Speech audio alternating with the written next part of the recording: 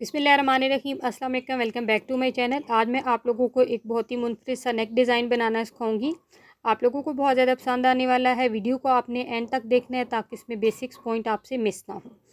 तो ये वाली शर्ट है जिस पे मैंने नेक डिज़ाइन बनाना है यह अलग फैब्रिक है। पहले इस पर मैंने डिज़ाइनिंग करनी है, उसके बाद इसको मैंने शर्ट के साथ अटैच करना है।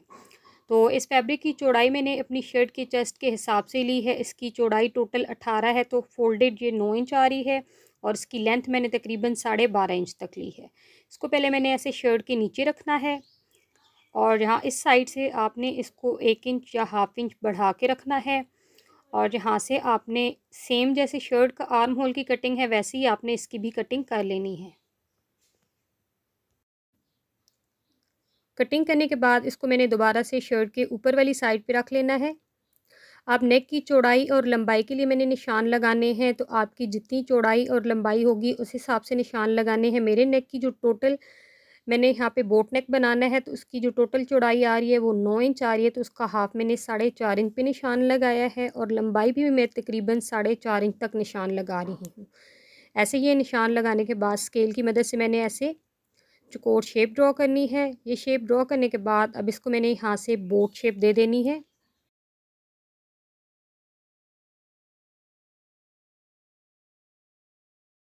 ये निशान मैंने ड्रॉ कर लिए हैं। अब इनको फॉलो करते हुए मैंने नेक की कटिंग करनी है। यहाँ ऊपर से मैंने नेक की कटिंग नीचे शर्ट वाले कपड़े के साथ करनी है।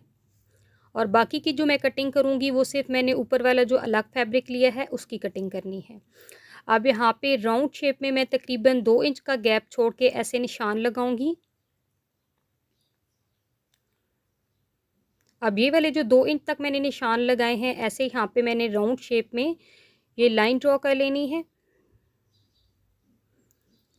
अब यहाँ पे शर्ट का कपड़ा मैंने हटा देना है और सिर्फ़ ये ऊपर वाला जो फैब्रिक है, इसको मैंने कट करना है। तो थोड़ा सा हाफ़ मार्जिन का मैं फैब्रिक छोड़ रही हूँ, जो लाइन लगाई है वहाँ से। ये वाला फैब्रिक सिलाई में जाएगा। तो अब इसको मैंने ऐसे रखना है, बिल्कुल दोनों साइड से हाफ़ हाफ़ इंच मैं कपड़े को एक दूसरे के ऊपर रख रही हूँ, क्योंकि वो वाला फैब्रिक सिलाई में चला जाएगा। ऊपर से यहाँ से मैंने ये वाला जो एक्स्ट्रा फैब्रिक होगा, इसको कट कर लेना है। अब सेम वैसे ही यहाँ पे भी मैंने दो दो इंच के निशान लगाने हैं सेम पहले वाले मेथड की तरह और राउंड शेप पे मैंने निशान लगा के कट कर लेना है।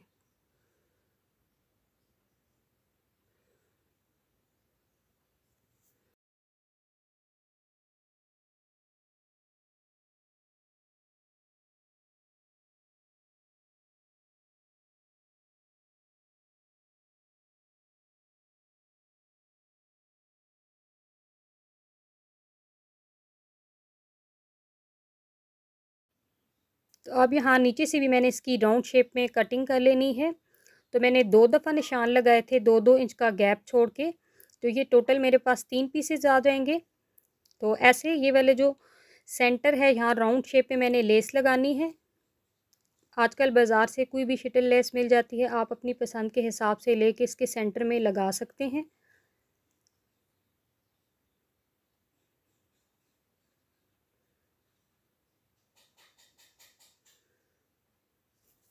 तो अब यहाँ पे ये ऊपर वाला जो नेक का पार्ट है, इसके मैंने सबसे पहले जो शर्ट के साथ कटिंग की थी, यहाँ पे मैंने इसको रख के लेस को स्टिच करना है।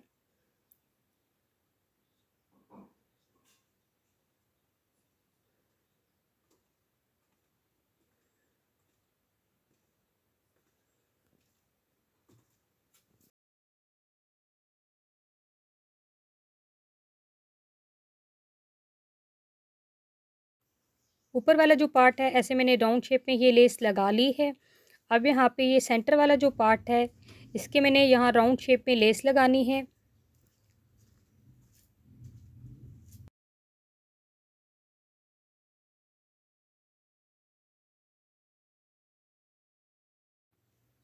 सेंटर वाले पार्ट पे भी मैंने ऐसे लेस लगा ली है। अब ये ऊपर वाला जो पार्ट है, इसके साथ मैंने इसको अटैच करना है। तो यहाँ पे इसको मैंने रखना है ऐसे और नीचे जो मैंने लेस के ऊपर सिलाई लगाई है, उसको फॉलो करते हुए मैंने सिलाई लगाते जाना है।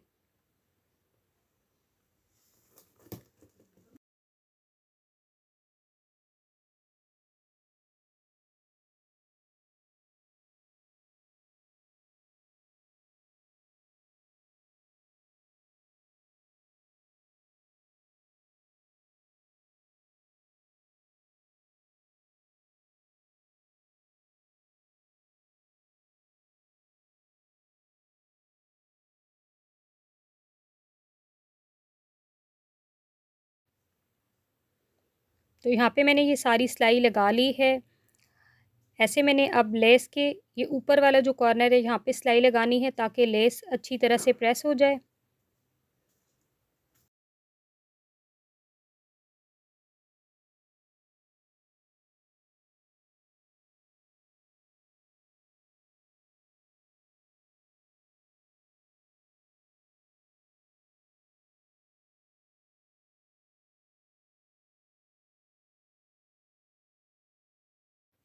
तो ऐसे राउंड शेप में मैंने लेस लगा ली है, बहुत ही सफ़ाई के साथ आई है। अब नीचे वाला पार्ट भी मैंने ऐसे ही अटैच कर देना है। तो यहाँ पे देखें मैंने सारी लेस अटैच कर दी है और नीचे वाला जो पार्ट है, यहाँ पे भी मैंने लेस लगा ली है। इस पर सिलाई मैंने एंड में लगानी है जब इसको मैं शर्ट के साथ अटैच करूँगी। अब इसके सेंटर में मैंने एक पट्टी अटैच करनी है नेक लाइन की। तो उस पट्टी को मैंने पहले से बना लिया है। चौड़ाई में मैंने तकरीबन ये स्टिक पेपर एक इंच तक लिया है, लेके उसको मैंने एक अलग फैब्रिक पे पेस्ट कर लिया है। इसकी लंबाई मैंने ग्यारह इंच ली है और चौड़ाई एक इंच आप अपने हिसाब से इसकी अगर लेंथ ज़्यादा करना चाहते हैं तो कर सकते हैं। अब नीचे से तकरीबन तीन इंच छोड़ के मैंने पाँच सिलाइयाँ लगानी है। एंकर के धागे के साथ में सिलाइयाँ लगाऊँगी। आप चाहें तो सिंपल भी पट्टी लगा सकते हैं अगर आपके पास प्रिंटेड फैब्रिक की पट्टी है तो।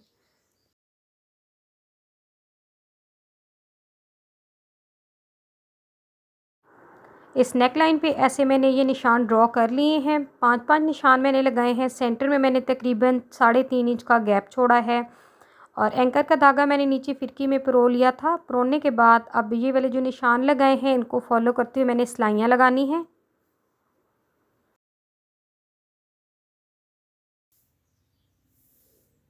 तो यहाँ आप देखिए, पट्टी पे मैंने ये सिलाइयाँ लगा ली हैं। बहुत खूबसूरत लुक दे रही है। मेरे पास सिंपल पट्टी थी तो तब मैंने ये सिलाइयाँ लगाई हैं। तो अब यहाँ पे ये ऊपर वाला जो पार्ट है, यहाँ पे मैंने इसको लेस को खोलना है और इसको अटैच कर देना है।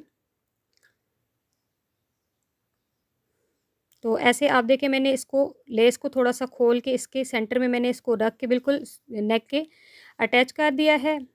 तो इसको सिलाई हम बिल्कुल एंड पे लगाएँगे। तो अभी मैंने ये शर्ट ली है, इसकी उल्टी साइड पे मैंने इसको रखना है। ऐसे रख के ये वाली जो मैंने लेस लगाई है, लेस को सिलाई लगाई है, सिलाई को फॉलो करते मैंने राउंड शेप में सिलाई लगानी है।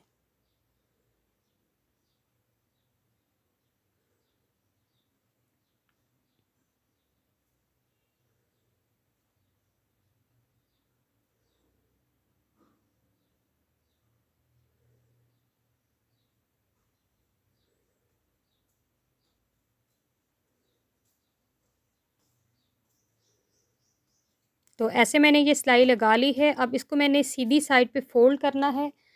फ़ोल्ड करने के बाद ऐसे बिल्कुल किनारे किनारे पे सिलाई लगा लेनी है ताकि लेस अच्छी तरह से प्रेस हो जाए।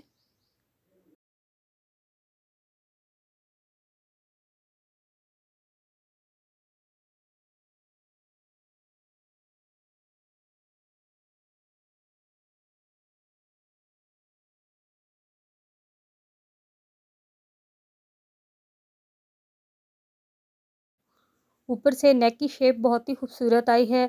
अब इस ब्लैकेट को मैंने नीचे वाली साइड से सिलाई लगानी है तो पहले मैं इसको अच्छी तरह से सेट करके निशान लगाऊँगी, पिन लगाऊँगी, इसके बाद इसके कॉर्नर पे सिलाई लगा लूँगी।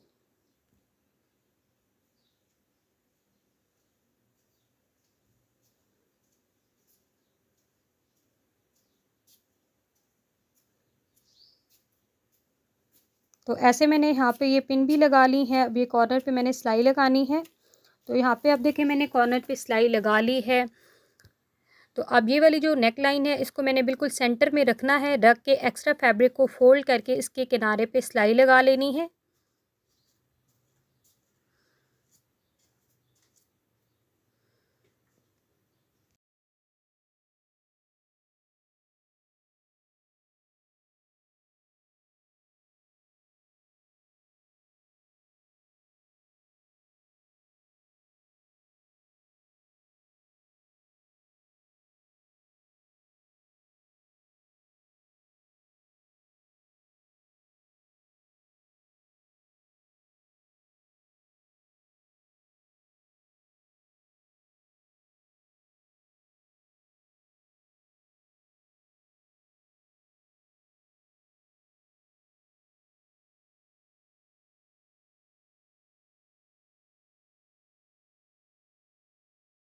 नेक लाइन को सिलाई लगाने के बाद अब सेंटर में मैंने मोती अटैच कर लिए हैं। उसके बाद आप नेक की फाइनल लुक देख रहे होंगे, बहुत ही खूबसूरत आई है।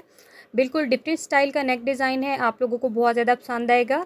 तो आपने वीडियो को लाइक करना बिल्कुल नहीं भूलना। अगर चैनल पे है तो चैनल को सब्सक्राइब कर दें। वीडियो को अपने दोस्तों के साथ शेयर ज़रूर किया करें। मिलेंगे नेक्स्ट वीडियो में। तब तक के लिए दे इजाज़त। अल्लाह हाफिज़।